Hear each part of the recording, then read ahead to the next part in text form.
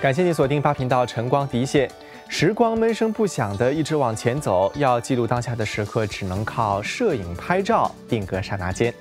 今天的新加坡创意单元呢，要介绍的就是一位用相机捕捉光阴和情感的摄影师 Bernice Wang 黄淑芬。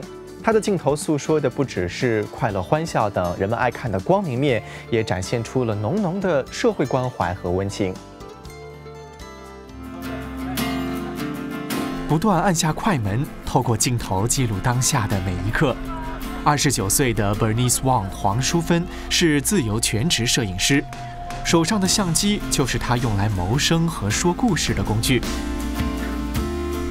不接案子的时候，他会把镜头对准一般人不常或者是不愿意接触的另一群人。有一天我就想，到底要做怎样的？嗯，摄影才会有意识。我就觉得不如就是拍 migrant workers，因为在大学的时候，在一个 NGO 做义工，也是对他们的生活有很多兴趣。他的作品在欧洲摄影年度盛事，也就是巴黎的 PX3 摄影展，拿下了2013年度非专业纪实类别的亚军和季军。在二零一四年，则荣获城市发展年轻摄影师的最佳主题系列奖。在做义工的时候，跟这些客工交流，他们就通常就会问：如果你有时间，你可以来我的家，我的妈妈会真的很照顾你。呃，如果你想住一个月，也是没有问题。透过镜头发展起来的友谊，令黄淑芬对客工们的家乡更是好奇。在客工的热情邀请之下，他鼓起勇气，同一群朋友在2012年飞到孟加拉，展开一段难忘的旅程。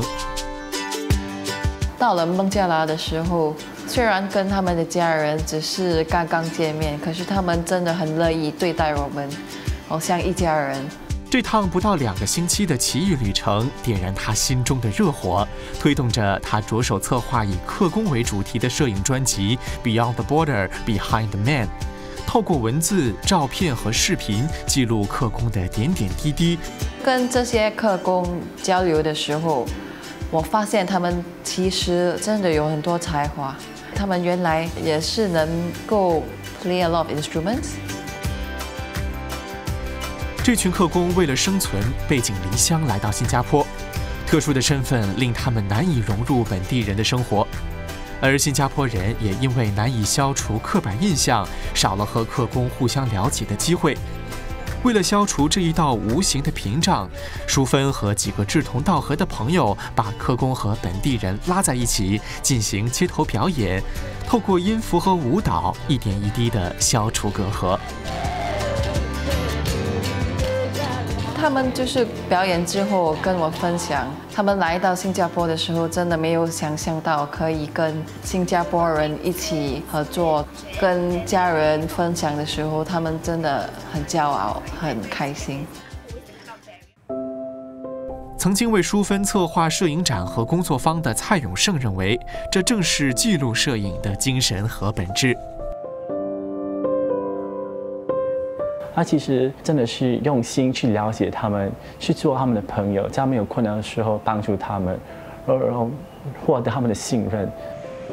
以客工为主题的作品，把淑芬推向了国际舞台，获得奖项的肯定。但是他却时时提醒自己莫忘初衷。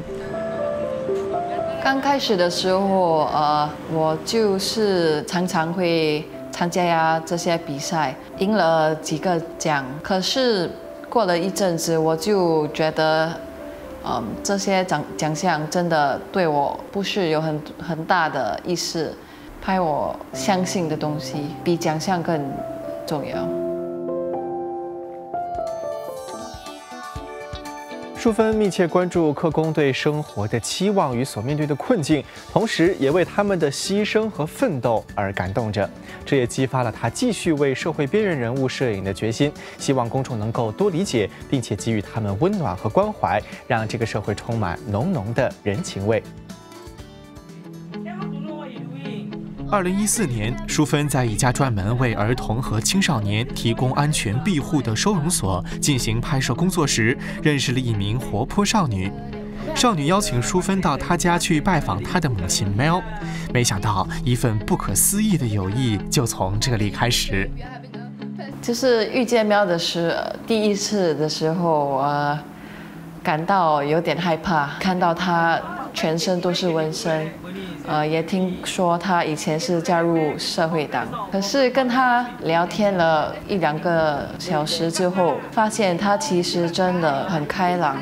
也是很乐意跟我分享她的故事。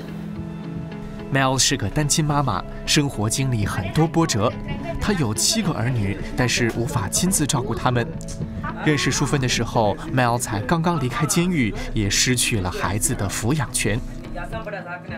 I explained to her about my situation, my family situation, and then I told her about the dance group and everything. But actually, we never asked her for anything. Eh.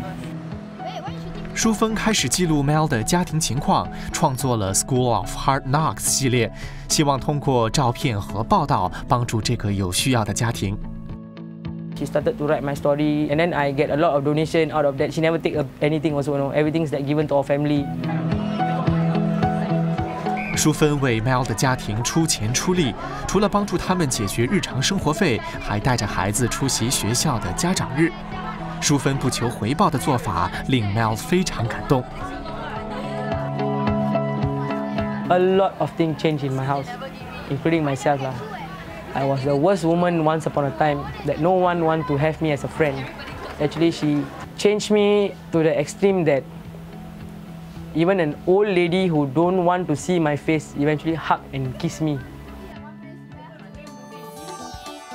好了，感谢您收看今天的晨光提现。如果您想要重温我们的节目，可以浏览我们的 Facebook 网页，或者是八频道新闻及时事节目的网站以及应用程序。我是蒋焕，我们明天见。